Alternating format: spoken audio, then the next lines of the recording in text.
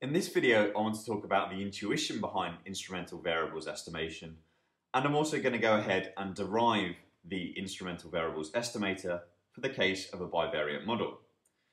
Okay, so just to remind ourselves of the problem which we introduced in the last video, we have some sort of model which is yi is equal to alpha plus beta xi plus ei. And the problem here was that the omitted factors or the sort of various factors which are contained within this error were correlated with x, which meant that if x changes, there were two ways which y was changing. One was through x, and the other was due to these sort of factors contained within the error here.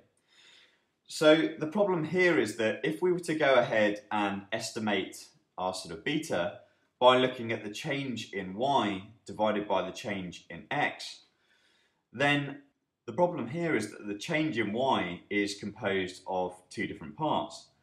There's the change in y which is due to x, and then there's the change in y which is due to the sort of error term.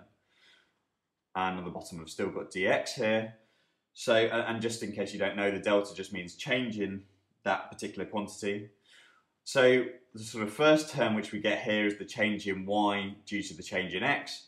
And then we've got the sort of second term here, which is the change in y due to the error divided by the change in x.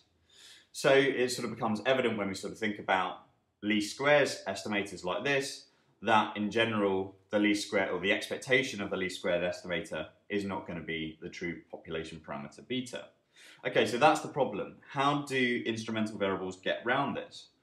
Well, the idea is that if we can find some third variable, which I'm going to call z, which is correlated with x. So let me just write z here. So the idea is that changes in z are associated with changes in x, but importantly are not associated with changes in the error term.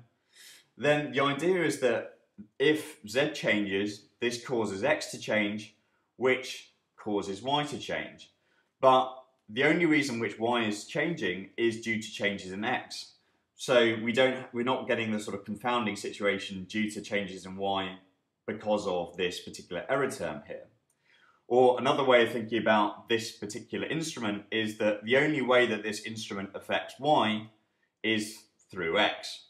So let's think about a particular example. Let's say that, let's say, z increases by one unit and if z increases by one unit, perhaps that causes x to go up by 0.5 units, which in turn causes y to go up by 2 units. So what would be the instrumental variables estimate for the parameter beta in this circumstance? Well, the answer is that the instrumental variables estimator for beta in this circumstance would be the change in y, which in this case is 2, divided by the change in x, which is 0.5. So that would be 2 divided by 0.5, which is 4. So the instrumental variables estimation, uh, estimate rather for beta would be 4. Another way of thinking about the instrumental variables estimator is that it's looking at changes in y which are solely due to changes in x. It's kind of looking, it's like there are many factors which affect y, but it's looking at the variability in y which is only due to the changes in x. And in that way, it gets around the problem of sort of these omitted factors causing changes in y because in theory we're not considering them. Okay, so how do we go ahead and actually derive the explicit form of the instrumental variables estimator for the case of a bivariate model? Well, the idea is that we take the covariance of both sides of this equation with our instrument z.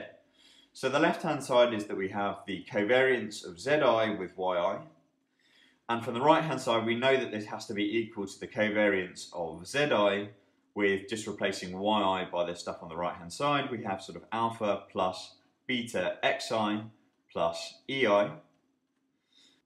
And we can simplify this expression on the right-hand side a bit. So we have that this is equal to the covariance of Zi with alpha plus beta times the covariance of Zi with Xi. Let me just rewrite that. Zi with Xi plus the covariance of zi with ei.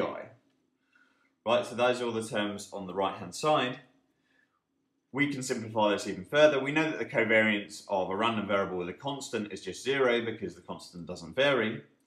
And furthermore, our sort of first assumption from uh, our instrumental variable is that the covariance of our instrument z with the error has to be equal to zero. Remember we sort of stated that in saying that if z changes, then this shouldn't be associated with any changes in the sort of omitted factors which we call sort of EI.